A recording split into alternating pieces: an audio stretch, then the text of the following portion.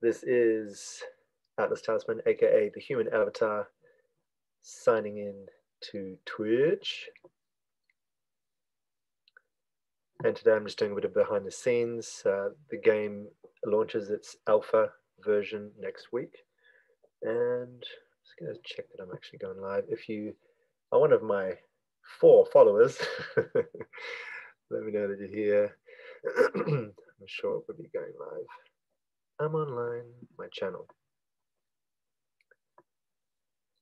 Yes, I'm live in Just Chatting. so back to work. What I'm currently doing is making the Book of Beginnings. So next week I turn 39, 23rd of December, it's my birthday, and I'm launching a project which has been a long time in the making. Um, it's, I guess, a social experiment slash IRL questing game. It's based on an alternate reality concept where there's the story game and then there's the real world questing aspect. And I play a Vicarian. So basically, I am a human avatar. You can control me in the game of life, and there's a bunch of different aspects of how that works. Currently, going to be running through Zoom here into Twitch um, and it's going to take over more and more of my life. But this is the very beginning. So for those people who are watching, you are here at the ground level, being some of the founders. So thank you for that. And today is really just a behind the scenes look. It's not going to be necessarily so entertaining, but we'll give you insight into the current work. Um, I'm also going to be live streaming a meeting I'm having tonight with or who I call the council, which are three people who are really instrumental in helping me bring this together, just from a community, peer, inspiration, love huddle space. And um, then next week on Wednesday, I'll be having a streaming in my cyber party here for my birthday with a bunch of people. I'm not sure, maybe it could be 30 or 40 people, maybe more. Um, and we're going to be exploring how to turn me into a human avatar and what the framework is that I've created to have different origins of influence, meaning like who gets to hold the control and actually steer me in the game of life, and what the points are, and the different modes of play, all that kind of stuff will be explained. But for now, I'm just going to go straight into what I was doing, um, which was writing the book of beginnings. So, just to give you a little bit of context of the story, in the fictional world, um, it's all set in a town called Iris, and at the center of Iris is Mount Atlas. And there is a fabled Atlas talisman on the top of that mountain. People say if you get the talisman, then you can see into other realms, then you have all these super spiritual powers. and around the base of that mountain live this monastic order called the Vicarians. And they are nuns, N O N E, people who are aspiring to become no one so that they become can become everyone or anyone and so that's like the the stoic zen like monastic order. Um, and this book, the Book of Beginnings, is one of the, I guess, the sacred texts for the Vicarians. And also, if people want to play and eventually be on this side of the camera as a Vicarian, this is a little bit of a training manual so people can start to do that. And it's legit as well. I mean, you can actually train with me in embodiment, in creativity, and questing. And this is the way to play life as a game. And I'm smiling because I'm feeling bit by bit that dream landing into reality. There's a, a big gap between, I guess, what you'd call maybe the noosphere and then meat space or the physical reality. I think someone once said that the graveyard is one of the richest places on the planet because of all of the gold that is buried in the minds of people who didn't bring it to fruition before they died. And I think that's maybe a, a, beautiful tragedy about being a dreamer and a visionary. Um, but there's a, a, quote I often like to inspire myself through, which is those who love peace need to be as organized as those who love war. And I'm trying to get organized to bring some creative, loving work to the world. Um, and this is part of it. So that's why I'm smiling because I'm, I'm here. I've got my my Twitch, the human avatar, background up, got this little logo I put together. Um, this is Vicarious, the game. So enough of that. Um, hopefully this is interesting to game designers or for those people who really want to geek out on the process, but I'm literally just going to be writing the book. So it's going to be a, a scream. I'm going to be sharing my screen now, sharing my scream, ah!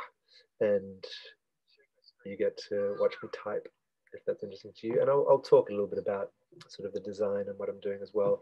And I'm drawing on a bunch of other documents I've created beforehand, so it won't be all me typing. There we go. Cool. So screen share, desktop share.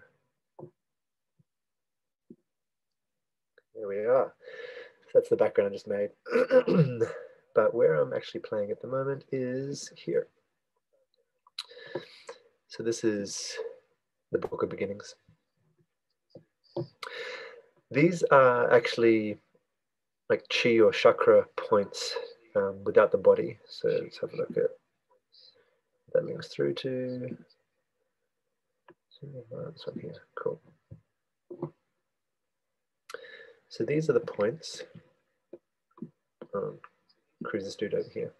So this is one of the basic Vicarian symbols whenever I play open world theatre, I'm out on the streets or doing public displays of humanity. I like to stand there. It's a little bit like an A pose of a game character.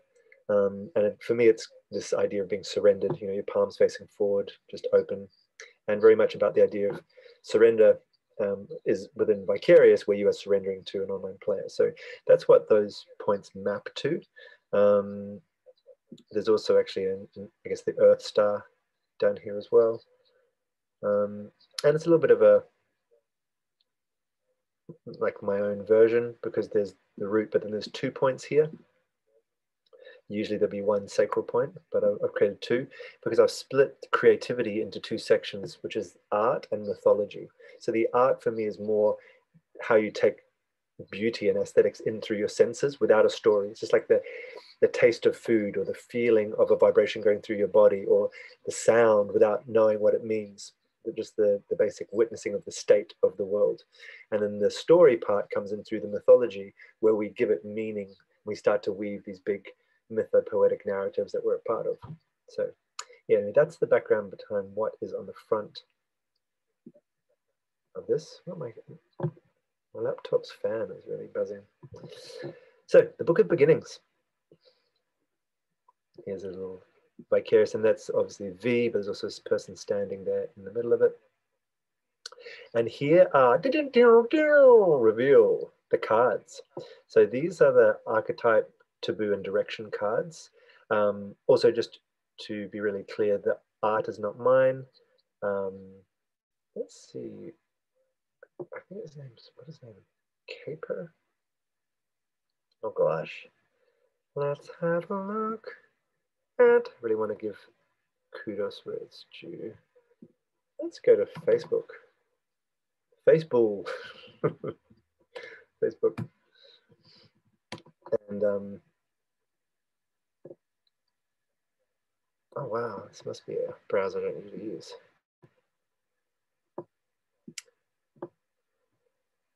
Bloop. We go. So yeah, I've got a I'm calling the event Storyborn. Um, but if you're on Twitch, you don't have to worry about that because it's all coming through here. Here's me and here's me. So as you can see, it's got kind of a transhuman kind of vibe. Storyborn is basically the name for anyone who gets born or birthed into the world um, of Vicarious. And the story is based around a comedy club called People's Soup. Um, anyway, so this is the event. And then I've got these cards, which you've seen. And there the artist is. On Behance.net, check out Kekperk. Kekper H. Keek from Poland. So as you can see, really incredible sort of vintage collage styles. And I went through and found ones which were really just perfect. Oh, wow, I really like this one as well such beautiful work. Um, and Kekper, if you're watching, I've actually have messaged you and I'd love to collaborate because this is just such exquisite work. It continually talks about the sort of themes of Vicarious as well. Obviously, he's a human being, the brain tree coming out, and someone else working on him, which I really like, and then maybe the hand of God coming down. And obviously navigation aspects. Yeah, it's just so on point for my intention, my brand, um, and what Vicarious is. So huge respect to you, and I'll continue to reach out to you. Um, if I can't get hold of you, obviously I won't use your art. Um, might recreate it myself, not copying, but just being inspired by the design. Or if you are watching this and you create these kind of collages, um, yeah, let's collab and jam. Because what I'm really trying to do is get rid of my artist ego, which tries to do everything myself, and be more a the game designer of this game, and also be the crash test dummy to play test it. Um, so anyway, without further ado, here are the cards. These are the archetypes. So when you're playing Vicarious, there's different modes of play, and the modes relate to the goals you're going for. So it can be uh, free play, which is pretty obvious. You just go do whatever you want. It can be legend mode, where you're trying to improve me, my actual life, Atlas Talisman. You know, play the legend saga of the hero who is me in the world and see through my skills and my aspirations and my limitations how you would improve my life. And then there's also the third one being archetype mode, which is where these cards come into play. So the theory being that if you could live from all of these centers, you'd be living your living your best life. You'd be living your fully realized self. Um, so it's like you know your root is connected to your creature. So that is this card here, and that's cool half human, half bird with bees, and that's what this uh, icon up here represents. It's an archetype card. Uh, if you go down to these cards with that, oh my gosh, that's the taboo card. Um, and then over here with the compass, those are the directions cards. So if you were to live from your creature, you'd be primal, you'd be connected with your meat body, you'd be connected with your senses, you'd be wild and able to um, connect in with nature really well as well. Um, if you're living from your architect, as you probably think you can connect in with planning, but you can also connect in with the physical built world. And so we build labyrinths at that stage and work with feng shui and things like that. Um, from your artist, you're connected to your senses and appreciating the beauty of the world. And then from your mythologist, you're starting to weave those senses into meaning. Um, from your pilgrim, you're obviously going on a quest, uh, opening yourself up into the real world. Um, and then the celebrant is your, you've been initiated as a pilgrim and you can now guide others into the sacred space. And then finally is becoming the game master, the person who can actually start to devise their own systems and ultimately help create a new society. Uh, over here, these are the directions. So northwards is associated with exploring. Um, eastwards is associated with inventing. Southwards is associated with building. And westward is associated with protecting.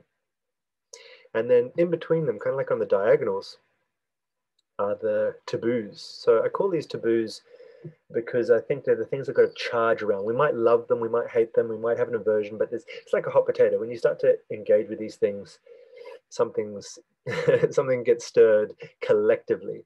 So, and I really like the acronym GASM to summarize the four G A S M. So the first one is God, second one is art, third one is sex, fourth one is money. And then the final archetype is the freeman. So I'm replacing A's with X's just to be non uh, gender specific with the man part. We're all human. We all humans for the next. Um, and so the way I see it is that we are actually freemen. I mean, my games are not necessarily creating new realities, they're creating framings for the actuality and welcoming us into the open world. So I call all my work what comes under the banner of open world theatre. And so open world theatre for me is about artistic frames which help you interface and realize the truth of our actual freedom, realize the truth that the lines on the maps are not really there, the truth of our unity and the truth of our innate belonging on this planet. So before you play Vicarious, you're a freeman when you leave Vicarious, you're a freeman. Um, but in, in the middle, you get to play all of these uh, other characters, which always link through to the actuality or, or true part of yourself. Cool. Well, let's get to writing. So I've got a few other things I've created. Let me see where you are. Uh, documents, branding. I get to see my file structure. Vicarious. Hmm.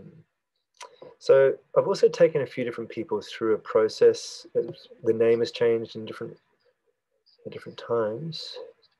What would it be called? Chart of clowns or something? Clown chart. Yes, clown charts. So I really like the idea of the sacred clown. Um, oh, and this is Munassi is also an amazing artist. Look at this crazy, beautiful depiction. Yeah, so also really inspired by this artist, which feels feels very, um, I'd call it Zen-like, something that's Orientally inspired. There's a group called Zen Zen Zo in Australia, um, which I think is kind of linked to Butoh. Um, yeah, all of these really beautiful. I'm very inspired by Commedia dell'arte as well, Italian mask work. So all of the sacred clowning, the shamanic way we can play as the fool to explore our humanity, go into the taboo, um, and be theatrical, but at the same time coming back to such a real, like raw humanness as well. So the reason I was bringing you here, check out openworldtheatre.com if you want. I'm actually building a website purely for Vicarious, which I won't let you know about just yet. I won't tell you the URL because it's not ready, but I'll be launching that on my birthday. But for now, if you check out openworldtheatre.com, that's uh, got a summary of my work. So here we are. This is how the different archetypes map. Um, and there's also different focuses. So yeah, so much terminology, but different archetypes are related to what I call orbits or areas of focus. And each orbit has, has a few different lenses. So different ways of viewing the world, engaging, and ultimately training your senses to become more sentient so that our intelligence can be a felt sense, not just a cerebral, Western, masculine, making sense, facts from reason, but actually coming to a, a holistic sentience where we actually feel we're tapped in through all of our energy centers and we just are a little bit more integrated. So yeah, I won't go into this too much more, but you're going to now watch me try and integrate all of these pages into the Book of Beginnings. There's two archetypes which I am not yet playing in, but they do exist. That's of the naturalist and the technologist. So currently the cards just relate to these ones here um, and the artist. And the naturalist and technologist exist, but they're kind of postgraduate areas. So once you've gone through everything and then gone and been a freeman for a while and done your own thing, then you can come back and train with me in the uh, the open world gymnasium, and we'll continue on with technology and nature.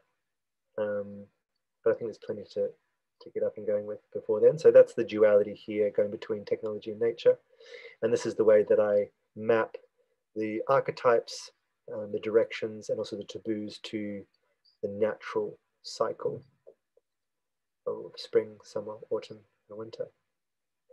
And I've brought this all together with a compass. So I want to turn this compass into um, something that's interactive, maybe through an app or just a website. but for now, it's just a, a static image which we can use to reflect on how we're engaging in life.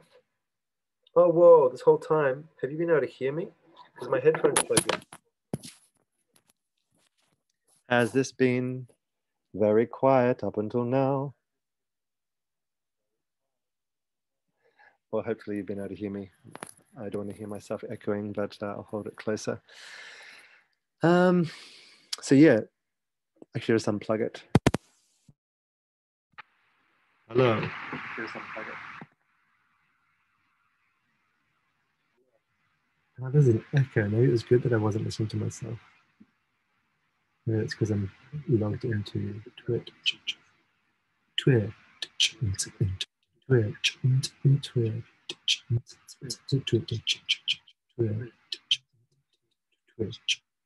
Twitch. Hello, Twitch. I'm the human avatar. Can I have a caveat to say that I cannot afford caviar, but I would like to dip into your eggs because I know the fact that we're all just broken legs. As luck, lucky artists, we are starting to chart the darkness. Okay, wait, sorry, get back to what I'm doing. Why can I hear my echo? Is it because Twitch, Twitch is on?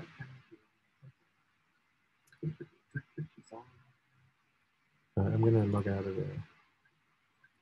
By log out, I mean press the X.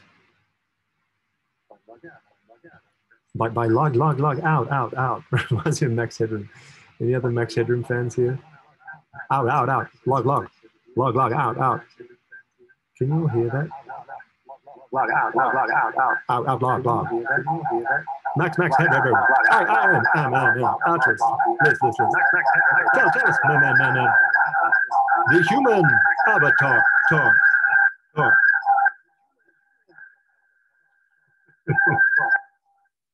Don't you love chaos? Don't you love chaos?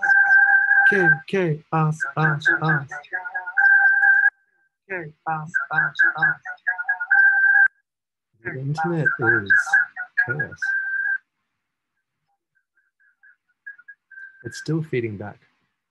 Right, I don't know what's going on, children, but we are all in the nursery of life, trying to work out how to not cut our teeth on the hand that feeds. I'm very distracted by the fact that I'm doing a Twitch live, to be honest. I haven't really done any work yet, but hopefully it's interesting for some of you gamer geeks. Um, so yeah, in essence, this is the, why is it echoing? Why, why is it, is it echoing? I'm just going to plug this in. I really hope you can still hear me, but I can't concentrate while I'm echoing. So is that. I'll just hang them over. I'll just plug it in like this. Bliff, blap. So as you can see, Vicarious is very much lo-fi and in its early stages, but that's part of the charm, isn't it? It's part of the charm. Can you hear that? I really hope you can um, because I'm saying really interesting things. So yeah, a key part of the game at this stage is really making the game itself. So it's going to appeal to people who like to get BTS behind the scenes um, and watch someone create something because I'm very much in creator mode. And it's also a good log, a journal process to show that I'm actually making this thing because as you can see, I'm doing, I'm doing the things. So the Book of Beginnings starts thusly. Let's make a new page. Cliff blam. Um, so real simple. I like to split up my documents with six columns. I just find it a good way to balance things out. Tapping W to go back and forward between the, I guess it'd be like the metadata of the visual layout. Just a bit of, bit of geeky design stuff for those who are trying to create PDFs. I think that if you're an entrepreneur in the modern world, it really helps to have a little bit of design nous and a little bit of coding, understanding at least, to be able to copy and paste, be a bit of script kiddie and copy and paste things. Um, so yeah, here's my crash tutorial and how I do design. How am I going to start this?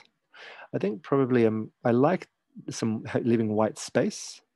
So I'm probably going to make this a little bit like a, um, maybe that much. A little bit like a little book of poetry. I like to justify text.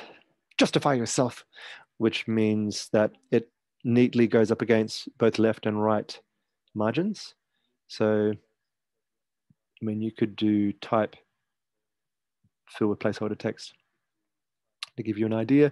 So that's normally, that's just left aligned.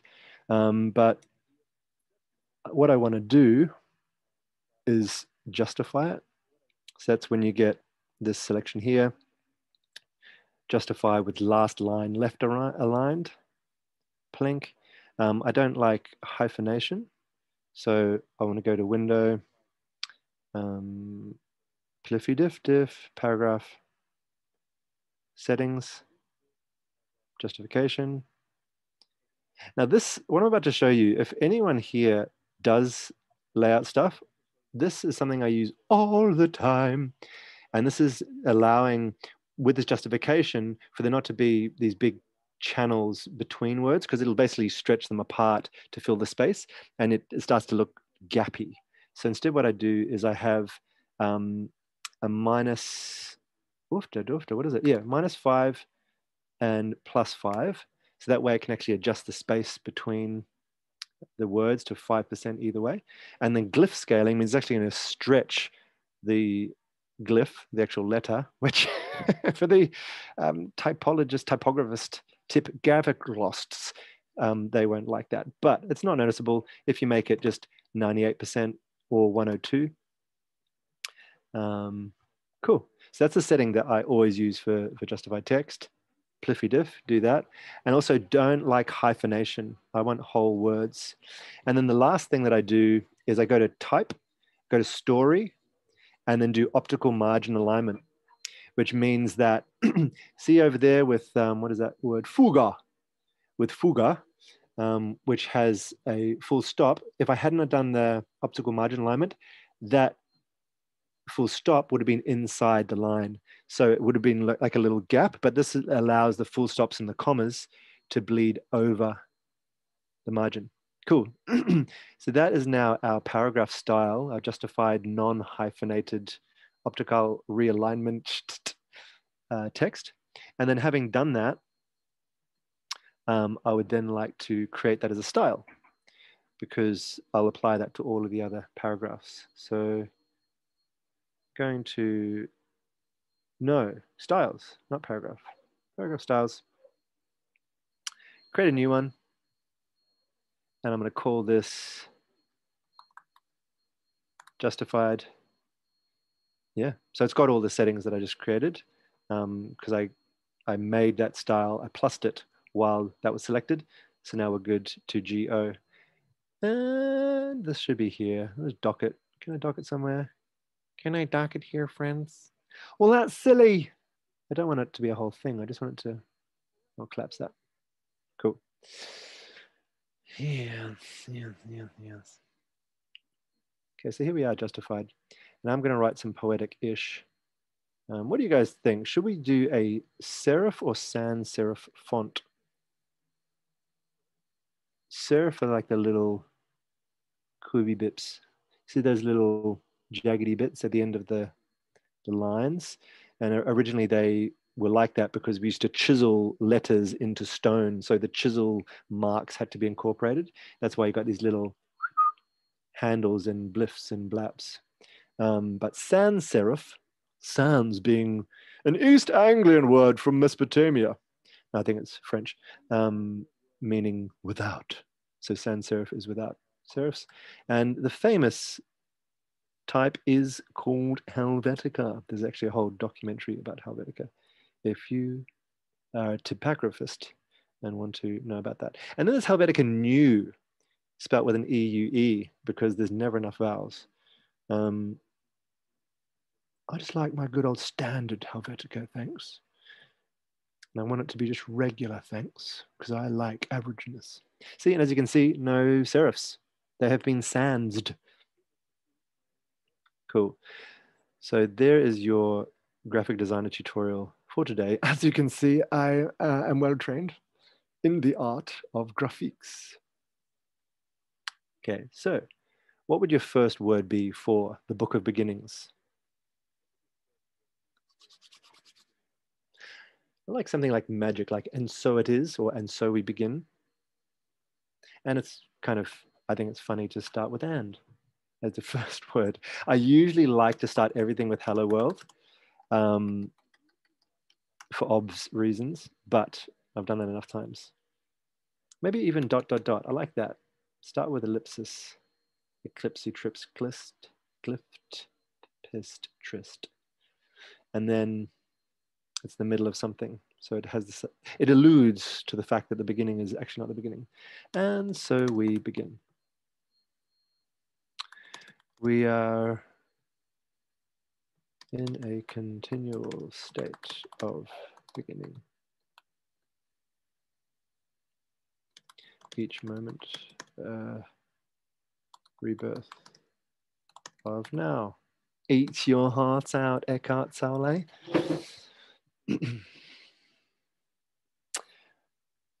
See, I don't know. That's kind of cool.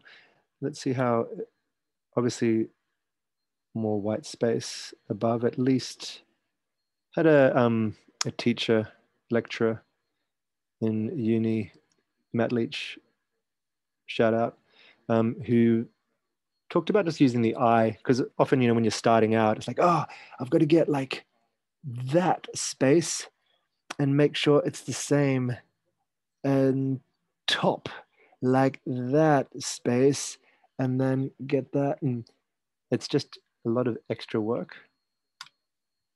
So yeah the eye works. And so we begin. We are in a continual state of beginning. Each moment a rebirth of now.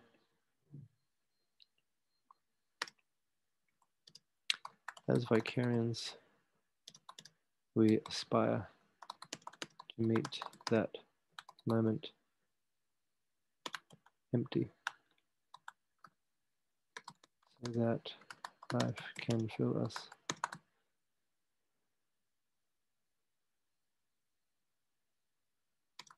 with the new. I like capitalizing things to indicate they have some kind of, what would that be called? A super noun? I don't know.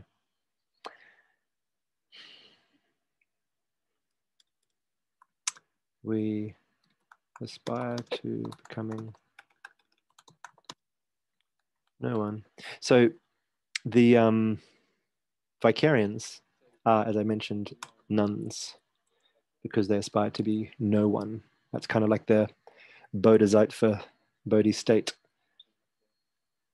So that we can experience anything as anyone.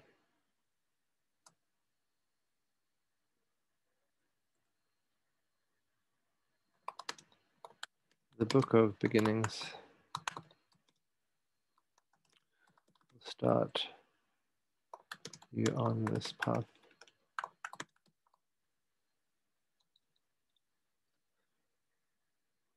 Hmm.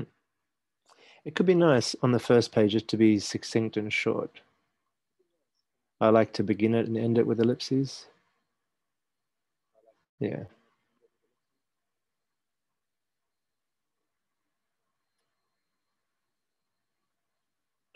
I'm inspired to actually stop this um,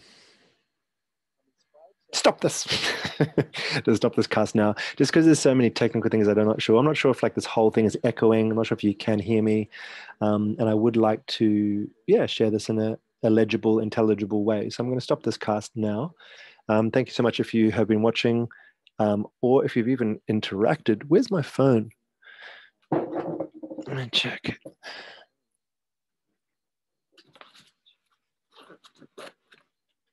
I don't know where it is. I was going to see if anyone had commented on Twitch. If you have been interacting and I haven't seen you, thank you so much. Um, I'm so new to Twitch. Like I said, I literally got, I think, four followers when I last checked. But I'm going to share this video if it's intelligible uh, on YouTube.